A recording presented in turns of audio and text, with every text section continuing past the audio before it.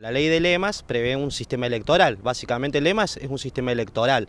La provincia de San Luis adoptó eh, desde la sanción de la ley 1086 del año 2022 este sistema electoral que trae aparejado la acumulación de elecciones para dirimir internas partidarias y elegir eh, a los candidatos que van a ocupar los cargos que se renuevan el 10 de diciembre de 2023. Se aplica en ese, el sistema implica eh, no el desdoblamiento de elecciones que se daba antes con las primarias, ley que se deroga a partir de la ley de lemas, sino la simultaneidad de las elecciones. Es decir, la simultaneidad al momento de eh, elegir en internas y en elegir de manera definitiva candidatos. Hay libertad de, constitución de lemas, eso lo prevé la ley, la 1086. Eh, los lemas pueden ser partidos, frentes o alianzas y cada lema puede tener sublemas, que son fracciones de ese partido, frente o alianza, lema.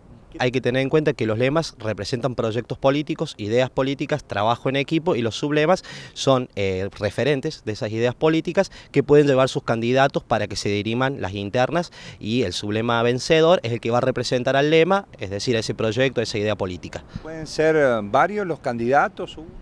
Pueden ser varios candidatos de distintos cargos, todos los cargos que sean renovables a partir de diciembre del 2023, pueden ser candidatos por sublemas dentro de un lema. Cuando se publique el cronograma electoral van a estar establecidas las fechas para constituir lemas, que, pueden ser partidos, frentes o alianzas, conforme lo disponga la justicia electoral provincial, y los sublemas se van a constituir una vez que se hayan constituido los lemas. Diez días después ya se puede empezar a constituir sublemas, que hay que acreditar determinada documentación y en lo general eh, un total de avales ciudadanos del electorado para que exista el sublema, 200.